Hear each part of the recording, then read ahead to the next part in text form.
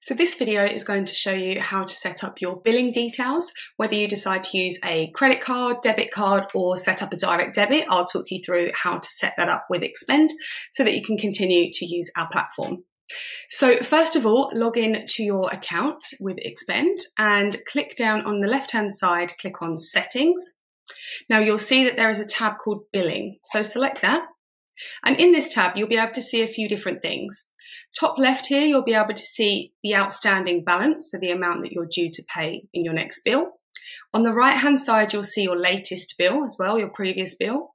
And if you scroll down, you'll be able to insert an email address that you would like new invoices to be sent to when they're ready. And you can also see at the bottom here any previous invoices and whether they've been paid or not. And if you ever need another copy, just click download on the right hand side and it will download as a PDF for you. So to set up the payment method, click the black button here that says payment method, and you have the two options. So if we select credit or debit card, this is the most popular way to pay. Now enter the name on your card and then enter the billing address. So make sure that this billing address that you enter does match the card details registered. At the bottom, enter the card number, the expiry date, and the CVC code, and you have the option to make it your default payment method by turning on the toggle at the bottom. Click on to add card and that's it, that's all done. The other option is to pay by direct debit.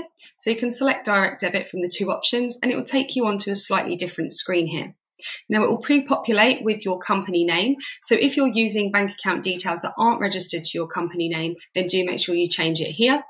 Enter the sort code and account number, enter the billing address postcode, and then you'll be able to select the full address from a drop-down list just double check your email address is correct and scroll down and click on to set up direct debit, the big green button at the bottom. Now, on the rare occasion that more than one person is required to authorize direct debits on the account, you can tick this box here. And what that will do is it will send you an email with a form that you will need to print out, and um, any authorized people will need to sign that and send that back. So the majority of businesses don't don't need this. Um, so in that case, you will just enter your details, skip that box, and then click, click on to set up direct debit on the bottom there. And that's it. That's all done. If you have any other questions, do let us know. Thank you.